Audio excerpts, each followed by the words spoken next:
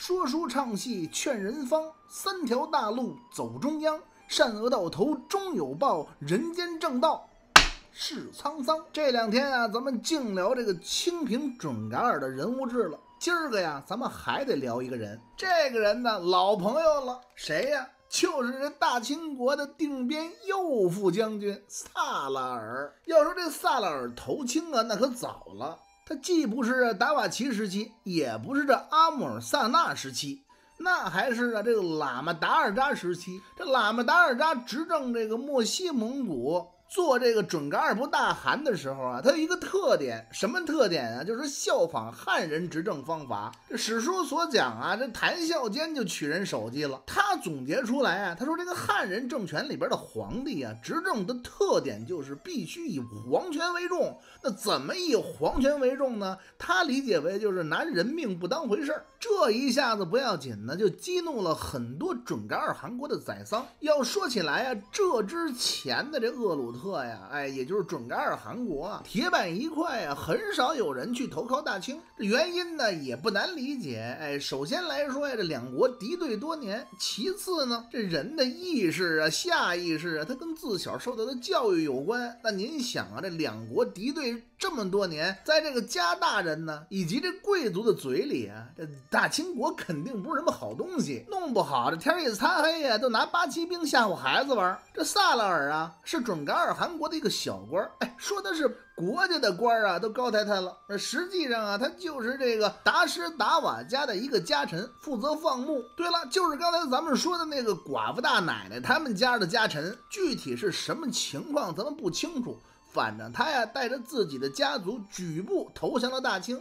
实际上，这个家族人并不多，才四十多户。即便是四十多户，这乾隆皇帝也没见过呀。这个厄鲁特人呢，举家来投的，就把他们家所有人呢安排到了察哈尔，然后呢又入了八旗，并且呀隶属于上三旗。整黄旗蒙古不但入了旗呀，还给了一个散职大臣的衔儿。直到啊，这个大清国呀准备征讨达瓦齐了，这才呀给他了一个定边右副将军之职。在这个军衔上啊，可是跟阿姆尔萨纳平级。您可别忘了，这阿姆尔萨纳可是一个部众的胎记，辉特部吗？这萨拉尔啊，也无非就是一个胎记家的宰桑。家臣而已，足以证明这乾隆皇帝对这萨拉尔啊是高看的，是信任的。可是这家伙却在呀阿姆尔萨纳叛逃之后围攻伊犁，撇下了伊犁参赞大臣鄂荣安以及主帅班第，自己跑了。跑啊，还没跑了，让阿姆尔萨纳给逮着了。这一逮着啊，这萨拉尔啊还真随和，他就忘记了这大清朝这乾隆皇帝对他的千般好，嘿，他还就投降了。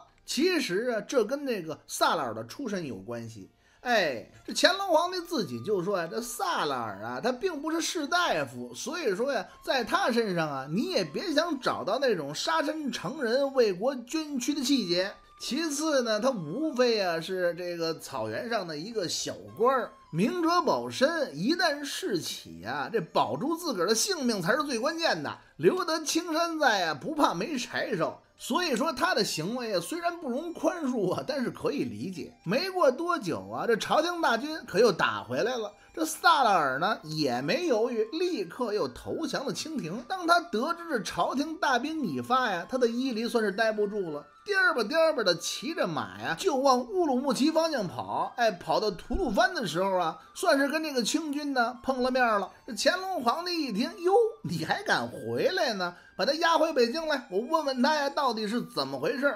这萨勒尔到了北京城之后啊，第一件事可不是见皇上，因为这乾隆皇帝早有旨意，直接呀就把他押到了位于现在东城区的双钟祠，让他呀跪在这个班第鄂荣安的这个灵前旁边啊，有一个大内侍卫，看样子已经等他很久了。哎，从这个地下呀就拾起来一个小盆儿，这个小铜盆里是什么呀？是一盆的淤泥。看样子呀，就是从口上这倒沟里蒯的。这侍卫呀也不嫌脏，从这个盆里呀蒯出一把黑泥来呀，直接就呼在了萨勒尔的脸上，然后呢，让这萨勒尔啊给这个班蒂和鄂荣安两个人的牌位分别施了三跪九叩的拜祭礼。这萨勒尔心里他不明白是怎么回事儿啊，哎，但是啊，他倒是有一定之规，他觉着只要不杀呀，就是赚的。那书中代言这是什么意思？实际上乾隆皇帝这招啊损了去了，这是在死人面前呀对活人最大的羞辱。管这种做法啊，咱们汉族有一个称谓叫做泥手谢罪。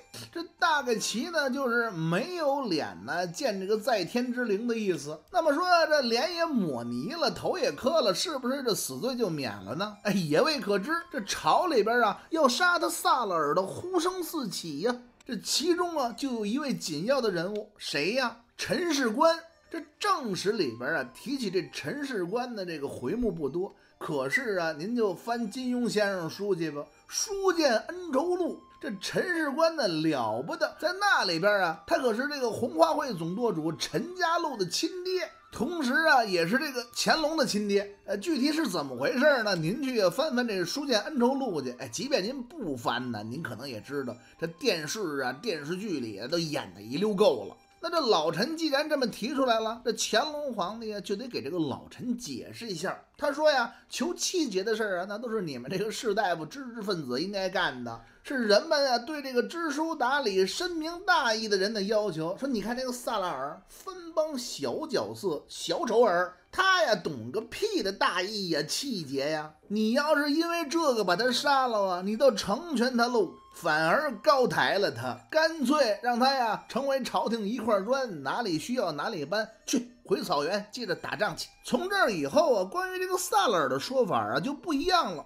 有的说呀，乾隆皇帝命其驻特纳格尔，仍授以这个定边左副将军。有人说呀，不是，这乾隆皇帝给了个萨拉尔一个散职大臣的圈，一直啊就留在了北京。不过呢，这两种说法都不算完，这萨拉尔的故事啊还没结束。就在乾隆二十一年的三月，这乾隆皇帝在北京城收到了一封前线来的密报。这密报是谁写的？就是啊，现在前线的主帅策棱。这策棱啊，给皇上这这封密奏里边是这么写的：侍卫巴宁哥自伊犁归，谈到克什木之乱时，将军班第等自库勒扎赴空格斯防卫。敌军赶来时，萨勒尔欲逃跑。鄂荣安称：“敌人来了，应当抵挡，为何驻急逃走？”萨勒尔言道：“你怎知道？”于是策马逃走，众人跟随。班第等仅于司员侍卫卫卒六十人抵挡。当夜敌军抵达，班第等人随自杀。那您想啊，这乾隆皇帝接到这封信之后，他能不生气吗？因为啊，他这里边还有自责的因素。本来呀，给这个班第鄂荣安在伊犁留的人就少，他只给他们两个人呢留了五百人。这信中介绍到啊，这萨勒尔逃跑之后啊，还带走了很多人，最后能留在这班第和鄂荣安身边的就只有六十人。于是这乾隆皇帝在震怒之下，就命人呢把萨勒尔又押回到了京师，关进了大牢。不过呢，这事后啊倒是很蹊跷，在这个乾隆二十四年的前后啊，这乾隆皇帝啊把这萨勒尔啊还就放了，哎，授予了散职大臣镶白旗蒙古副都统，乾清门行走，并且呀不久以后悬擢内大臣，复封二等超勇伯。这还不算完，还给了一项啊巨大的荣誉，什么呀？图形紫光阁，也就是说，这乾隆皇帝把这个萨勒尔的画像啊挂在了紫光阁，承认他是平准平回战争当中的五十员功臣之一，这很值得研究。哎，因为啊，在联想到后来策棱治罪。这里边啊，很有可能当年策棱给乾隆皇帝的这封密折当中所提及的萨勒尔的一些罪状啊，应该是策棱编造的。得嘞，今儿的故事啊，咱们就讲到这儿。我是给您讲故事的昆仑流石，喜欢我的频道啊，还请您关注、点赞并转发。您的支持是我能持续更新下去的唯一动力。咱们呀，明儿见。